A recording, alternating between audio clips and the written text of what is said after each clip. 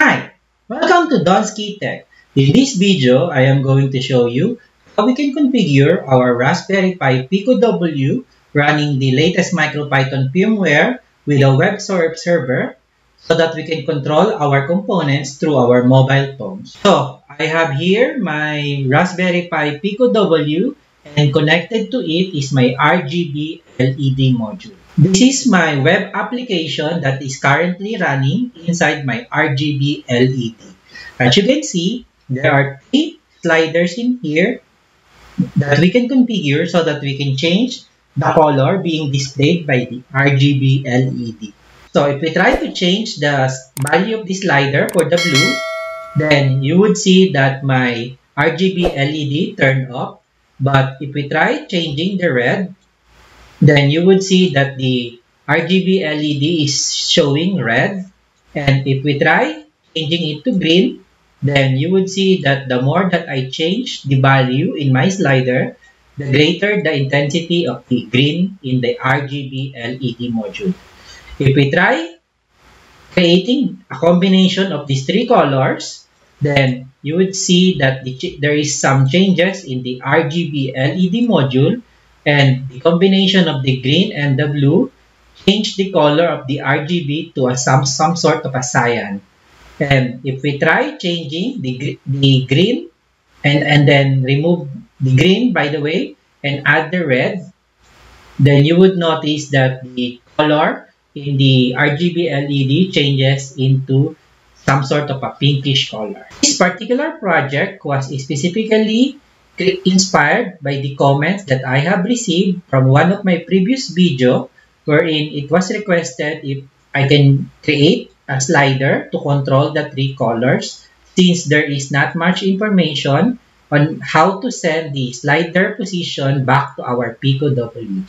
So, if you want to have your questions answered by me, so you can subscribe to my channel so that I can answer your question. If you want to know how I did this project, then let's start exploring.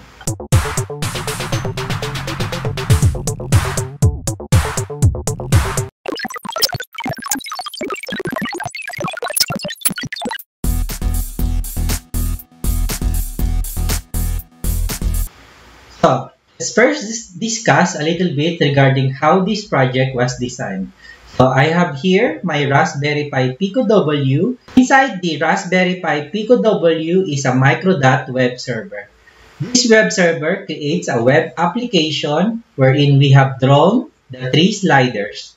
And the Raspberry Pi Pico W is connected to the RGB LED module so that whatever the values that is being sent by the web application is directly reflected by the RGB LED module.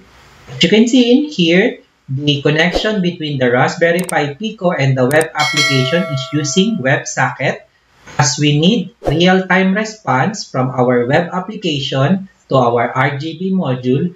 So using the WebSocket is a good tool for us as a communication protocol. For the wiring and the schematic, as you can see, just follow along with this table or you can use your own pin assignment as most of the pins in the Raspberry Pi Pico W supports P PWM or pulse width modulation. So let's start discussing the code for this project. The code is available in my GitHub repository which you can find in the description of this video. Let's now start with the boot.py.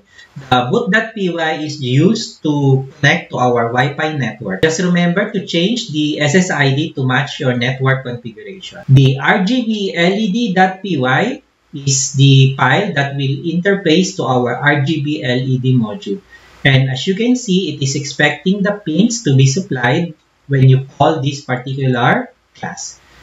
The important method for this class is the set RGB color. As you can see, I'm changing the value of the duty cycle for each of the red, green, and blue so that we can change the value. The values that you're seeing here is there is a function that I have created called map range and the reason why is that the values that is coming from our web application is from 0 to 100 and we need to map the duty cycle into 0 to 6535. So I have here a function called map range so that we can alter the duty cycle from 0 to 100 to 0 to 6535. What I mean by this is that if I pass in 0 from our web application, then we will receive a duty cycle of 0. But if we receive the 100, then we will receive the 65,535. The main.py, on the other hand, is our main file which contains our micro.web application. We just import the RGB LED module that we have created earlier and we initialize it with the PWM pins. Once the PWM pins is passed, then we can set the default RGB color so the default value that I have set for now is 50, 50, and 50, which means that there is a 50% combination of both RGB color. Then we initialize the micro dot with the these two lines of code. Then we define the root route wherein we will render the template index.html. This is the function that reads the sensor values from our web application. So as you can see, we have added it a route slash WS and the decorator at with WebSocket. There is the infinite loop here that waits for any WebSocket messages. And as you can see, whatever message that we receive from our web application is converted into a JSON. And that JSON is being used to set the RGB color. Now, I have two convenience function here that serves the CSS or JSS JavaScript. So as you can see, it's just serving everything in the static route, which is the folder here. Then we have the slash shutdown route, which will shut down our application. Then we have here the entry point of our project, which, we, which will just run our microdot server. It is important to deinitialize the PWM pins such that when we exit the application, then all the PWM pins will be deinitialized back to its original configuration. And that's all for the files. The files that you're seeing here for the microdot are just the microdot specific files, which I have just copied from the project source, the microdot framework. Now, let's discuss the templates, which is the index.html. The index.html is basically a web page wherein I have created these three sliders which refers to the red, green, and blue. So each sliders has its corresponding label for the value and we, the, we, show, we show the current value by this one through JavaScript. And the index.js is where it handles the sending of the WebSocket messages. So for the index.js, we just define the slider. So this is the slider. And for each slider element, we added an event listener for the change. As you can see, we extract first the value from the red slider value so that we can update the text content of our red slider value that you are seeing from the bottom of the slider. So this is the value that you're seeing here. So whatever the value is being reflected by this label. Then we call the send message which will send a JSON string our Raspberry Pi Pico W web server. We just extract the values for each slider and pass it to our receiver. Next, this, this is the WebSocket URL that wherein we connect to our WebSocket in our microdot application. And as you can see, we just initialize the socket when the when the application is loaded. And then we have the callback function here, which just console logs the messages.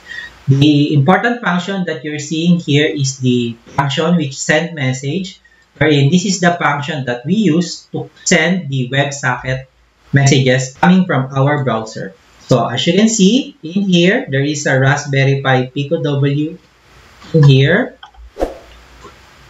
And whenever we change something in the slider, then you would see that the values is being reflected and we receive the message OK coming from our Raspberry Pi Pico microdot server. So basically that is how the code works. The code for this project, including the detailed write-up of this project is available in the description of this video.